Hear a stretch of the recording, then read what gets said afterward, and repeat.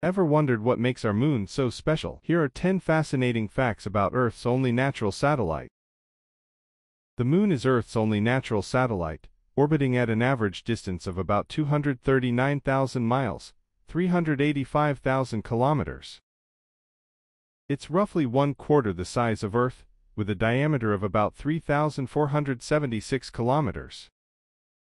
The moon is tidally locked with Earth, meaning we always see the same side from our planet. It has no significant atmosphere, which means its surface experiences extreme temperature variations.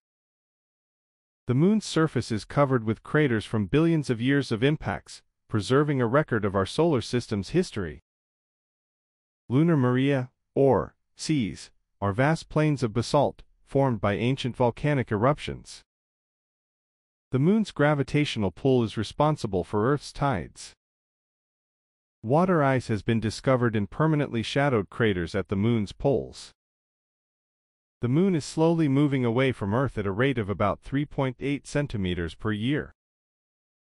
The moon likely formed from debris resulting from a massive collision between Earth and a Mars-sized body billions of years ago. Follow for more.